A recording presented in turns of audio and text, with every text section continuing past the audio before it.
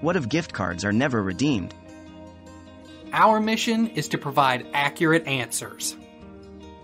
Around 6%. At any given time, 10% to 19% of gift card balances remain unredeemed, and around 6% of gift cards are never even used.